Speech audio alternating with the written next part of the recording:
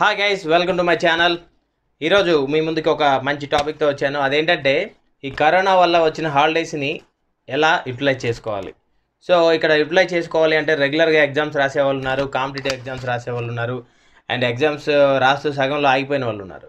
So ఇక్కడ వీళ్ళందరికీ కంబైన్డ్గా కొన్ని జనరల్ పాయింట్స్ అనేవి ఇస్తాను నేను. మీరు ఎగ్జామ్స్కి రాసేటప్పుడు ఎలా ఈ డేస్ని యూటిలైజ్ చేసుకోవాలి అనేది మీరు తెలుసుకుంటే డెఫినెట్లీ మీకు ఖచ్చితంగా ఉపయోగపడుతుంది.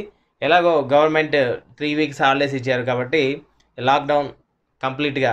కాబట్టి ఈ లాక్డౌన్ పీరియడ్ని మీరు డివైడ్ చేసుకొని ఎన్ని డేస్ ఉంటే మీకు ఎన్ని సబ్జెక్టులు అయితే బ్యాలెన్స్ ఉన్నాయో ఎన్ని టాపిక్స్ అయితే మీరు చదవలేకపోయారు లేదంటే ఆల్రెడీ చదివి ఉన్నారు లేదంటే ఇంకా కొన్ని హార్డ్ టాపిక్స్ ఏవైతే ఉన్నాయో వాటిని మీరు నెంబర్ ఆఫ్ డేస్ డివైడ్ చేసుకోవాలి. సపోజ్ మీకు ఐదు సబ్జెక్టులు ఉన్నాయి అనుకోండి.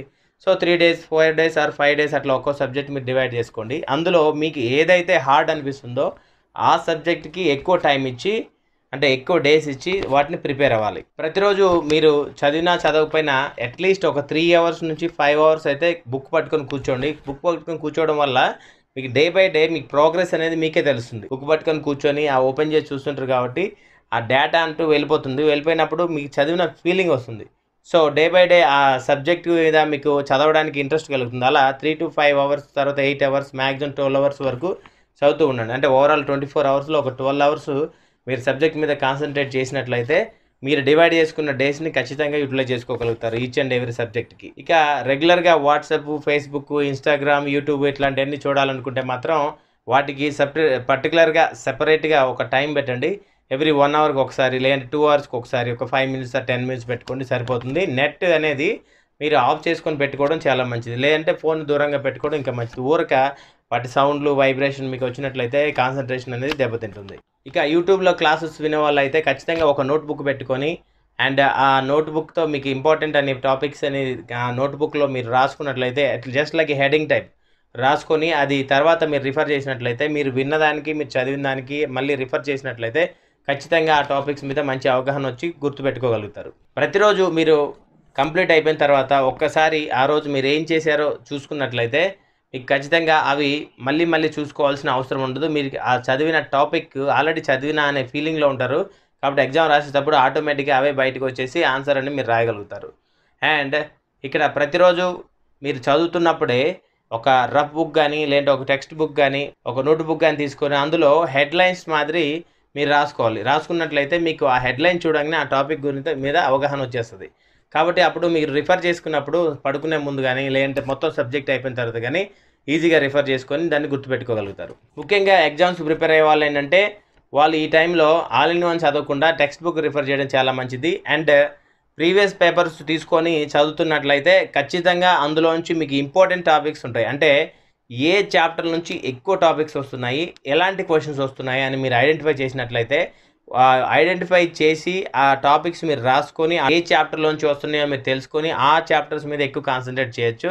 సో ఇంపార్టెంట్ క్వశ్చన్స్ అనేవి పర్టికులర్గా మీ సార్స్ వాళ్ళు ఇచ్చే ఉంటారు. సో రిపీట్ అయ్యే వాటిని ఇంపార్టెంట్ అనుకుంటాం. బట్ అవి చదివితే రావు. బట్ ఆ చాప్టర్ చదివితే మీకు ఖచ్చితంగా అందులోంచి ఎలాంటి క్వశ్చన్ ఏ విధంగా ఇచ్చినా కానీ మీరు రాయగలుగుతారు. సో అలా ప్రీవియస్ పేపర్ చూసుకొని ప్రిపేర్ అవ్వడం చాలా మంచిది. ఇక కాంపిటేటివ్ ఎగ్జామ్స్ వాళ్ళైతే క్వశ్చన్ పేపర్స్ని మీరు మీరే తయారు చేసుకుని లేదంటే ఆన్లైన్లో దొరుకుతాయి లేదంటే రిపీట్ అయినా పర్లేదు. ఒకే క్వశ్చన్ పేపర్ని ఈ రోజు రాసిన తర్వాత ఫైవ్ డేస్ తర్వాత కూడా మళ్ళీ అదే రాసినా నో ప్రాబ్లం సో మీకు ఖచ్చితంగా ఆ టాపిక్స్ మీద అవగాహన వస్తుంది. సో ఎలాంటి క్వశ్చన్స్ వస్తాయని అవుతుంది. కాబట్టి మీకు మీరే ప్రిపేర్ చేసుకొని ఒక హండ్రెడ్ క్వశ్చన్స్ లేదంటే ఎలా అయితే క్వశ్చన్ పేపర్ ఉంటుందో అలా సో దాన్ని రిపీట్ చేసుకుంటూ ఉండడం బెటర్ లేదంటే మీ ఫ్రెండ్స్ ఉన్నట్లయితే ఫ్రెండ్స్తో వాడు ఒక పేపర్ ప్రిపేర్ అయ్యని చెప్పండి మీరు ఒక పేపర్ ప్రిపేర్ చేయండి. సో మీరు ఎక్స్చేంజ్ చేసుకోండి. ఎక్స్చేంజ్ చేసుకొని ఎగ్జామ్ ఒక టైం పీరియడ్ పెట్టుకొని ఆ ఎగ్జామ్ టైం ఎంత ఉందో అంత పెట్టుకొని ఆ ఎగ్జామ్ టైం మీరు ప్రిపేర్ అయ్యి దానికి ఆన్సర్ తెచ్చుకొని ఒకరికొకరు షేర్ చేసుకుని వాళ్ళది మీరు మీరుది వాళ్ళు కరెక్షన్ చేసుకొని మీరు చేసుకున్నట్లయితే మీ నాలెడ్జ్ ఏంటో మీకు బాగా తెలుస్తుంది.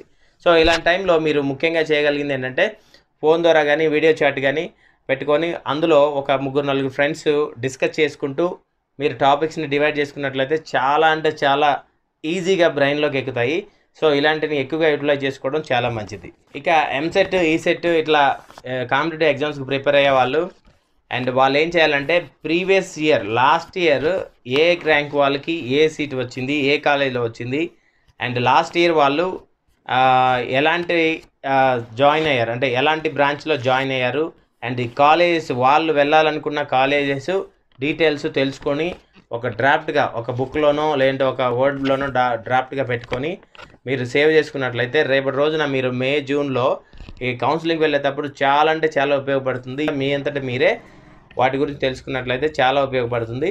ఒకవేళ అలా మీరు తెలుసుకున్న తర్వాత మీరు షార్ట్ అవుట్ చేసుకొని చెప్పిన కాలేజ్ కోసం ఎవరినైనా ఎంక్వైరీ చేస్తే మంచి డీటెయిల్స్ మీకు ఇస్తారు. ఒకవేళ మీరే మంచి కాలేజ్ చెప్పండి హైదరాబాద్లో మంచి కాలేజ్ అంటే అంత చెప్పడానికి చాలా కష్టం అవుతుంది. మీరు కొన్ని కాలేజ్ సెలెక్ట్ చేసుకొని దీంట్లో మంచి కాలేజ్ చెప్పండి అంటే ఖచ్చితంగా అలా చెప్తారు. సో ఇలా కూడా మీరు టైం పాస్ చేసుకోగలుగుతారు. సో ఫైనల్గా మీరు ఏం చేయాలంటే మీరు ఏది చదివినా ఏ సబ్జెక్ట్ చదివినా ఏ టాపిక్ చేసినా ఎవ్రీడే ఒకసారి పడుకునే ముందు ఆ పాయింట్స్ రిఫర్ చేసుకొని పడుకోండి.